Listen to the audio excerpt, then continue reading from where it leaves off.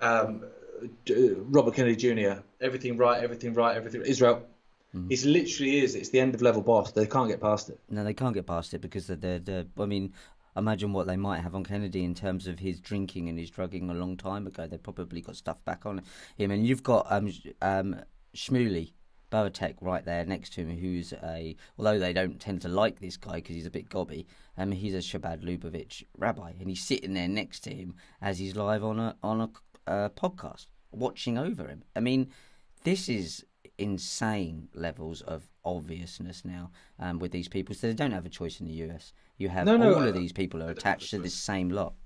Yeah, and then this is the thing. This picture the other day I shared of, of Robert Kennedy Jr. Bear in mind, Robert Kennedy Jr. is running for president of the United States of America, and he stood there like that, the same as this total fraud that's come in Argentina. The bloody mad sideburns looks like someone from fucking Minder. Milei, Milei. he's um he's going to be a quicker disappointment than um, Meloni in, in, in Italy he is. And so Robert Kennedy Jr. is there like that waving the Israeli flag whilst running for president of the United States of America.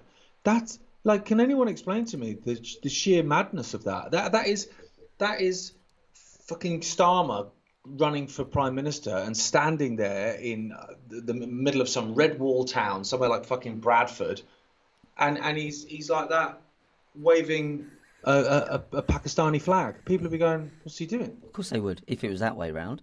Uh, yeah, that's and, what I mean. uh, You'd be yeah. going, "What's he doing?" Well, Who- Millier- who- who's he? Who's he running for prime minister of? or Israel, because there is no prime minister of um, or president of the US, and there is no prime minister of the UK, and I think people need to get that in their head.